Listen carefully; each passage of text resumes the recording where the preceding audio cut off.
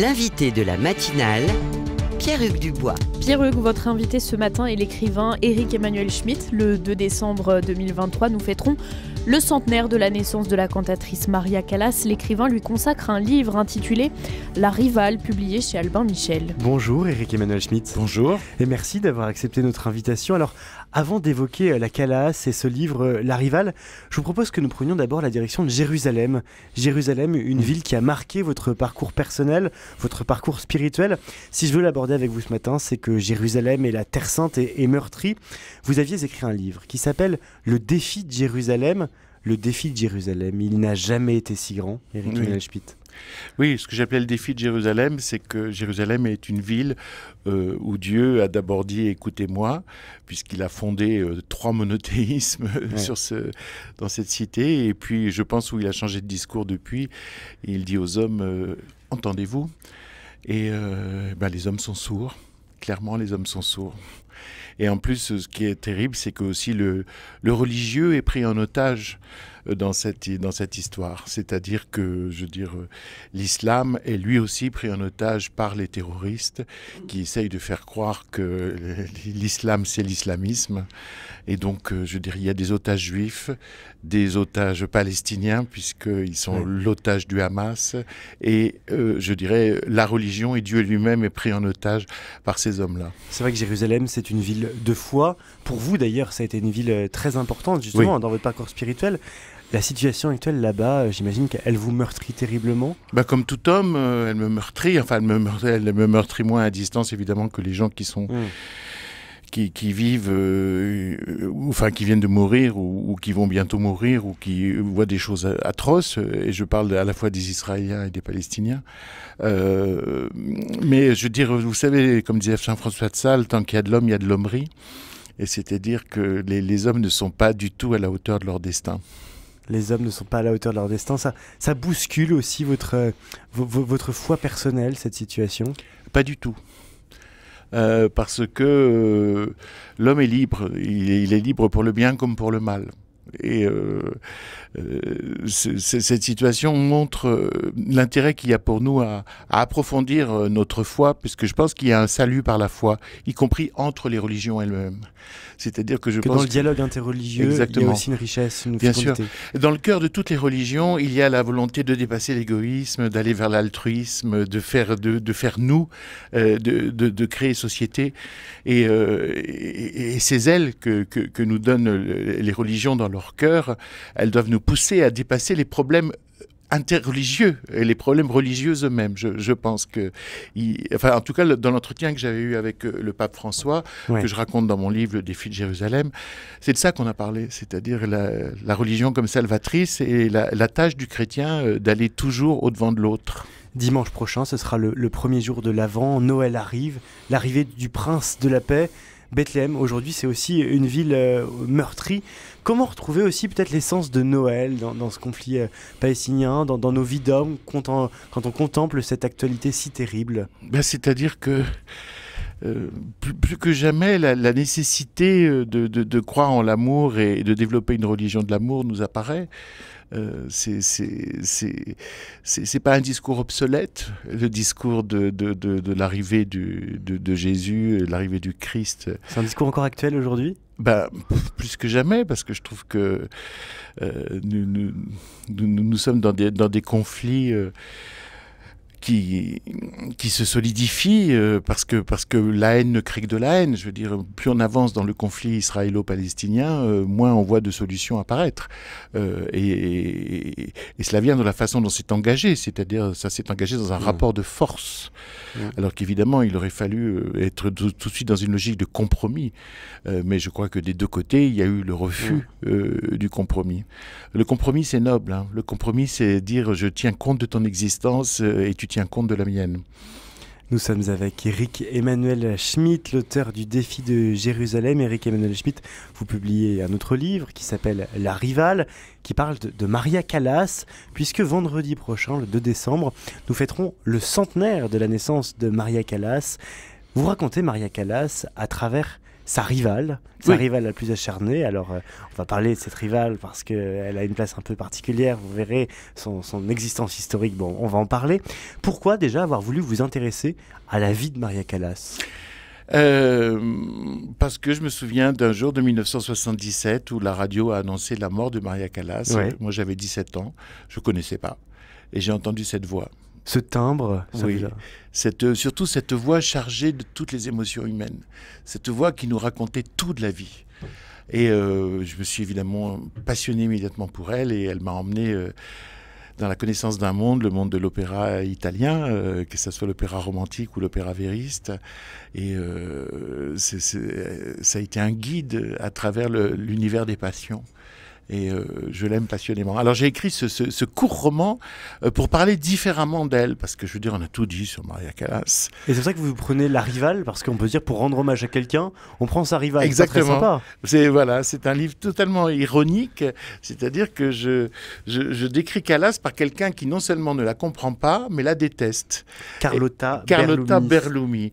qui a commencé euh, en même temps que, que Callas sa, sa carrière, c'est-à-dire très jeune, et euh, qui a été, fut un temps, euh, à, jouer en alternance avec Maria Callas dans, les opéras. Puis, et puis la Callas s'est envolée euh, dans le monde entier, elle est devenue une star. Et Carlotta Berlumi, elle, s'est enfoncée tranquillement dans, dans l'anonymat.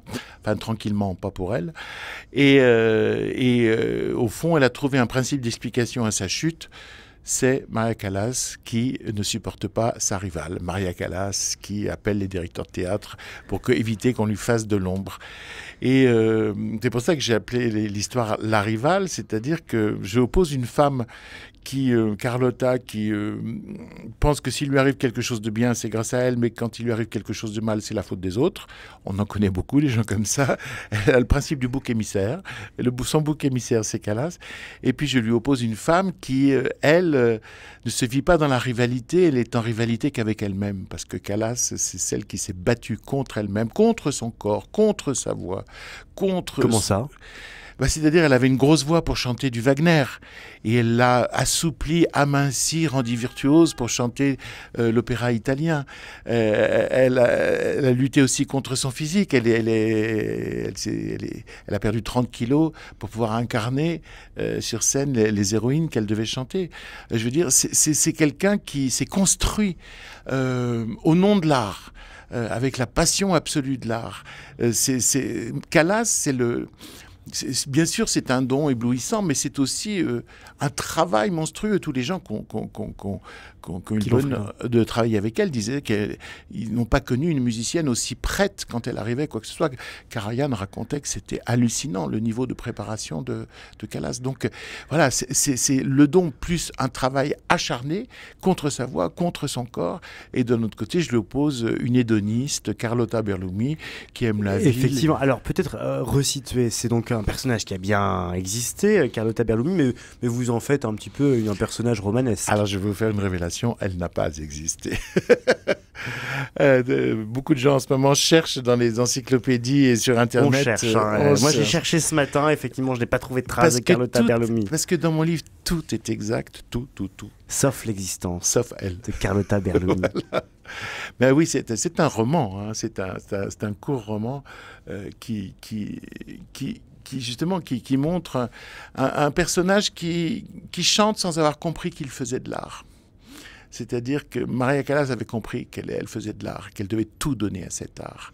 Euh, Carlotta, elle a une jolie voix, euh, chante joliment, euh, et puis et puis ça suffit quoi. Elle, elle, va pas non, elle va pas non plus se, se, se, rouler par terre pour faire croire qu'elle est une prostituée dans la Traviata euh, ou, euh, ou, faire croire qu'elle est japonaise en chantant Madame Butterfly. Du moment qu'elle fait ses contrutes et ses si bémols, elle est contente. Dans vos ouvrages, on parle souvent de musique. Oui. Eric Emmanuel Schmidt, pourquoi? Parce que ça fait partie de ma vie intérieure et même de ma vie spirituelle. Comment ça? Bah, c'est-à-dire que seule la musique, euh, parfois, est capable de, de me consoler, de me, de me remettre du côté de l'émotion, euh, de me redonner de l'énergie. Euh. La musique a un accès direct au plus intime de moi, encore plus que les mots. Mais je pense que nous sommes beaucoup à, être comme ça. Pourtant, vous êtes un écrivain d'abord, vous êtes d'abord un homme de mots avant, avant d'être un homme de notes. Oui, mais, euh, mais parce qu'on ne choisit pas d'être celui qu'on est. Oui. Euh, J'aurais préféré être musicien. C'est vrai, et- vous auriez préféré être musicien plutôt qu'écrivain? Oui, oui, oui. Pourtant, ça marche plutôt bien l'écriture. Ah oui, ça, ça marche. non, mais euh, je, je suis entre guillemets musicien dans la mesure où je joue du piano, j'ai fait le conservatoire jusqu'en supérieur, j'ai fait de la musicologie, enfin bon, j'ai un bagage, euh, si vous voulez, mais je sens bien que c'est pas mon mode d'expression, Hmm. euh, alors que j'ai une imagination délirante euh, Mm. et que j'ai la phrase facile. Donc, au bout d'un temps, j'ai compris que non, je ne serais pas musicien et, et j'ai répondu au fameux adage de, de, de Pindar deviens ce que tu es lorsque tu en as pris conscience. J'ai pris conscience que j'étais spontanément écrivain. Et comme Calas, j'espère, j'ai ajouté le travail au don. Mais pourtant, quand on écrit, on fait quelque part un peu de musique. Il y a quand même une, musicalité. Il faut, faut réussir à trouver le Bien bon sûr. enchaînement des mots. Bien sûr. Et ce qui me fait, ce qui me fait toujours plaisir, c'est que les acteurs qui me jouent disent toujours. Parce que vous êtes dramaturge, effectivement. Oui, oui, oui, mais ils disent toujours euh, quand, quand on change un mot, on s'en rend compte parce que la phrase boite.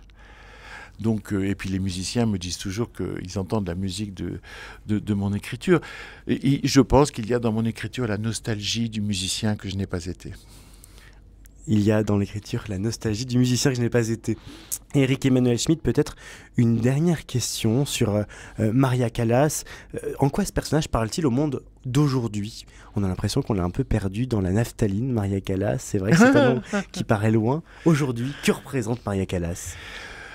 Ben, ça, euh, c'est-à-dire ce, ce, ce, dévouement absolu à son art.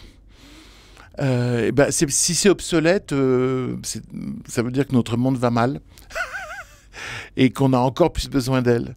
C'est-à-dire que c'est quelqu'un qui a épousé un art, l'opéra, qui en a refait du théâtre, parce que souvent euh, les chanteurs se contentaient de chanter.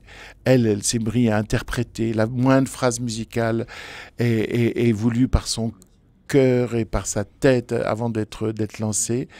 Euh, voilà, c'est quelqu'un qui, qui raconte l'humanité avec le chant. Et le chant, vous savez, on dit toujours que c'est un, un cri transformé ou que c'est un pleur. euh, ce sont des pleurs rendus mélodieux.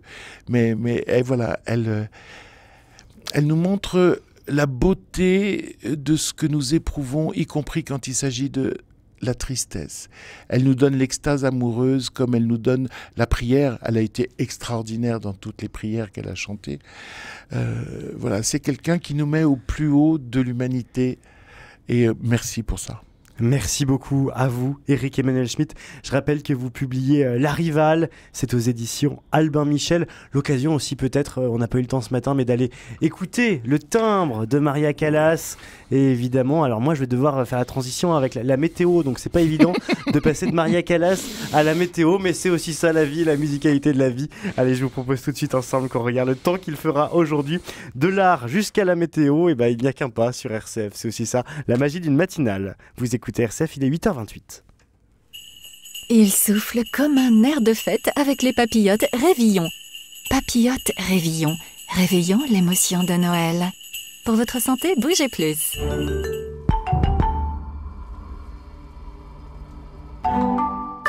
Quand Maria, Maria Callas chante, ne vous inquiétez pas, il ne pleut pas, ça tombe bien aujourd'hui. Le temps est plutôt sec, les nuages sont bas et le brouillard sont assez fréquents, parfois longs à se dissiper hein, ce matin.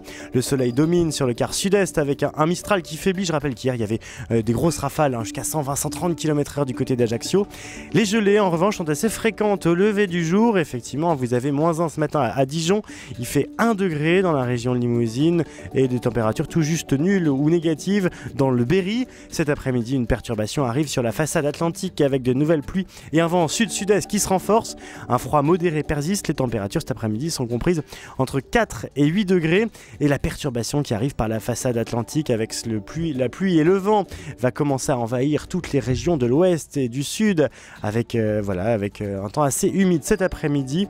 Bref, accalmie aujourd'hui avant le retour d'une perturbation?